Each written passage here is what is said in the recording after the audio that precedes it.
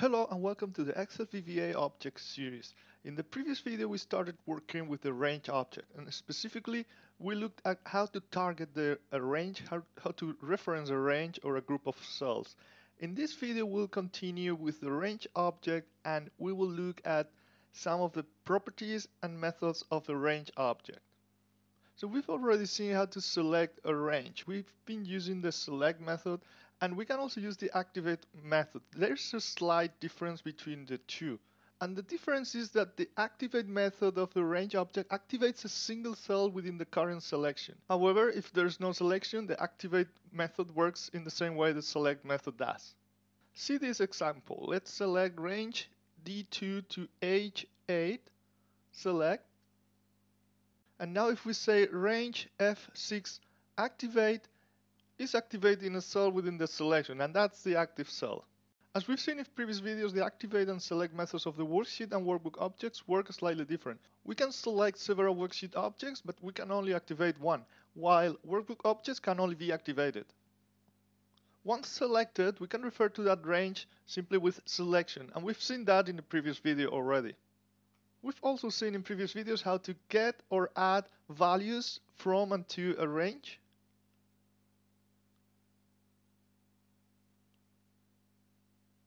And for that, we use the property value. So we can set or add or, or write the value to a range with range a1.value equals 100, or this could be a, a string of text. And if the range is a group of cells, the value will be added to each of the cells. And we can get the value in a cell or a range in the same way. Usually we put that into a variable. So for example, we could say my value equals range a1.value. And my value will get this value that we just added in cell A1. There are some other properties to add values or to fill in values in a range and those are fill down, fill up, fill right and fill left. And as the name indicates, that will fill based on a range the value in a in a given direction. So for example, if we if we write range A1, A10 fill down, it's gonna fill with the same value all of those uh, cells. If we have an automatic list though, we will fill automatically that range with the name of the days of the week.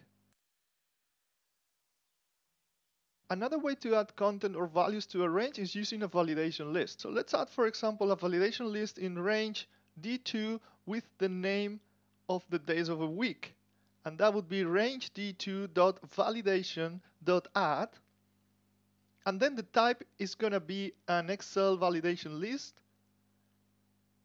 And the formula 1 is going to be equal to sheet 1 exclamation A1 to A7 and that's the standard format we use in Excel.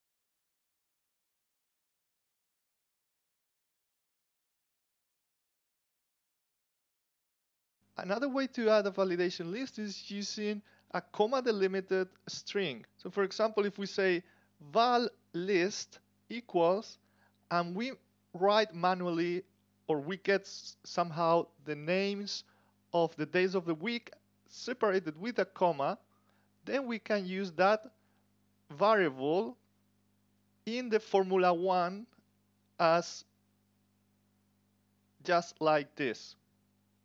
So depending on the situation, we can use one way or the other.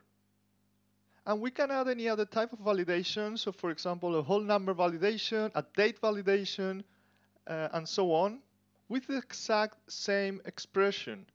But then we have to change the type of validation.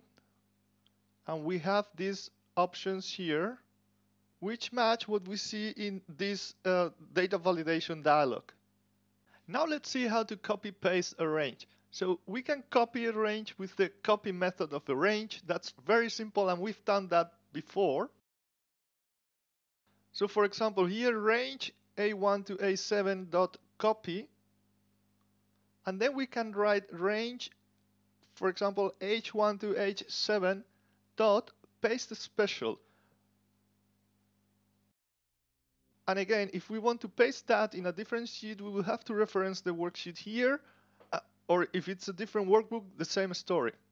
Note that we've used paste special. because paste is a method of the worksheet object. So we could also write worksheets sheet2 for example dot paste and that would paste exactly that range in a different worksheet altogether. But anyway, the paste special method is usually more convenient because it allows to specify a destination range and accepts several other arguments to specify further details of the paste method. So for example, the first argument is the paste method and it can be pasting all or pasting just um, the comments or the formats or formulas or the validation and so on. You can see here all the different options. There are some arguments to specify the, the type of operation or to specify whether to skip blanks or to transpose the content of the range. But there is a faster way to copy paste a range and that's using the destination argument of the copy method. So for example, if we say range a1 to a7 dot copy and we have a space here then we can specify here the destination so let's say sheet 2 dot range h1 for example. And thus we are copying and pasting that range in just one line of code. If we use the insert method after copying a range that will actually paste the values. But if nothing has been copied before, insert will just insert a number of rows or columns or cells, depending on the reference range. And we can also determine in which direction the other uh, cells will move. So it could either be Excel down, moving down, or moving Excel to right, moving uh, to the right. If we want to clear the contents in a range, we can use the value property. So the range dot value equals nothing or vbNullString or empty, which is for numbers. Or we can also write range dot clear contents. If we just used clear, that will clear the contents and the format too. And we can also just delete a range altogether, in that case, the cells around the range will move and we can also specify in which direction we want those cells to move. So it could be Excel up or Excel to left.